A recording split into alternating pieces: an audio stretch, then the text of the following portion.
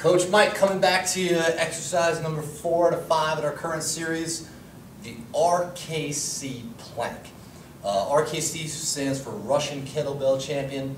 Um, we talked a little bit about, uh, during the Palloff press, about the functions of the spine and how it fights uh, lateral flexion, it fights rotation, and it fights extension.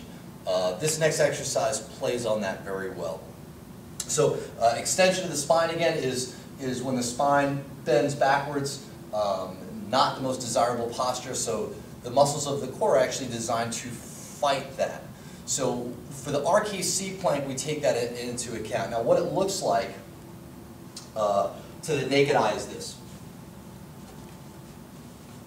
Right here on the floor, okay, flat like a board, and I'm holding right there, okay?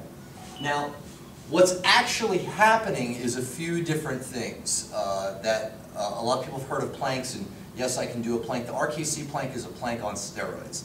Now, what's happening here is, number one, I'm making sure that my elbows are right underneath my armpits, okay? My shoulder blades are locked back and down while I'm there. Okay, so elbows under the shoulder, uh, elbows under the armpit, shoulder blades back and down. Okay.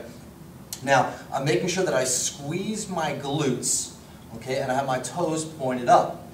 Now the most important part of this though is, is while I'm in that plank position, I'm literally exerting force from my elbows to my toes and my toes to my elbows. Nothing's actually moving. I'm just exerting that force and it causes the core to contract in a very extreme way. Uh, you'll see many people start shaking. It takes people that usually do a 90 second plank and it, it cuts it in a half or in a third. So again to show you, uh, you'll notice the elbows underneath the armpits, okay? The glutes are squeezed, the toes are facing up. My head is neutral, it's not down. I should look like I'm standing up pretty much. And then I'm driving the elbows to the toes and the toes to the elbows.